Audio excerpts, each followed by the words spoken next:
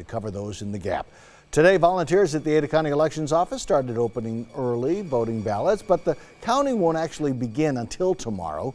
Officials say they mailed out 29,000 ballots and have received about 22,000 back. The county hasn't seen a turnout like this in years. For a gubernatorial election, it's breaking all records, and it's, uh, it's probably uh, right at a presidential, say 2016.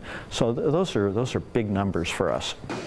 If you haven't registered to vote yet, don't worry. Idaho offers same day voter registration at the polls. All you need to bring is a valid photo ID and proof of residency like a bank statement or a utility bill. If you'd like more information on Election Day, just go to 6onyourside.com.